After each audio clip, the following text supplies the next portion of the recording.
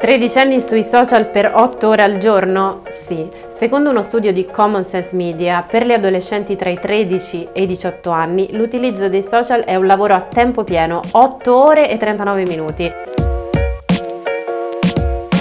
ma un nuovo sondaggio che ha intervistato oltre mille giovani tra gli 8 e i 18 anni ci racconta che i ragazzi, a differenza di quanto si può pensare, non utilizzano principalmente i social per rimanere in contatto con i coetanei, gli adolescenti per esempio, passano 3 ore al giorno per i contenuti video, 2 ore per giocare e solo 20 minuti per chat e videochiamate.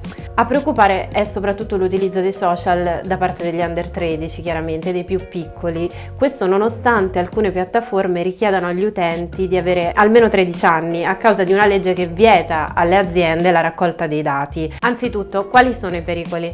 Senza voler demonizzare lo strumento in sé, va detto che i social media ci mostrano sempre più contenuti grafici e reali, a volte anche spaventosi, che i bambini non sono pronti a vedere, poiché non hanno gli strumenti per decifrarli, per elaborarli. Su TikTok, ad esempio, è molto facile incampare in video live dalla guerra in Ucraina, ma crescere esseri umani in un mondo digitale, lo sappiamo, non è affatto facile. L'approccio di molte scuole e famiglie fino ad oggi è stato quello di bloccare l'utilizzo dei social attraverso strumenti di controllo informatico.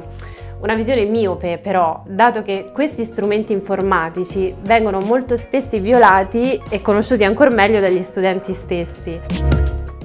Cosa possono fare allora i genitori? La risposta sta nella famosa educazione digitale, sì, ma possono anche proporre alcuni semplici esercizi. Il primo, chiedere ai bambini di riflettere su come trascorrono il loro tempo nel corso della giornata e loro stessi si sorprenderanno di quanto tempo impiegano sui social. Numero 2, possono chiedere loro di creare un elenco di 25 cose che farebbero se i social non esistessero e di incoraggiarli a svolgere alcune attività, prendendosi una sorta di vacanza detox dai social per 24 ore. Infine, potreste siglare un accordo tecnologico e cercare di rispettarlo. In che modo? Definendo alcuni limiti nell'utilizzo dei social. Ad esempio, i più piccoli possono pensare di guardare YouTube solo per un certo tempo e solo se il genitore è presente presente nella stanza con loro. Insomma, la parola chiave è una, dialogo.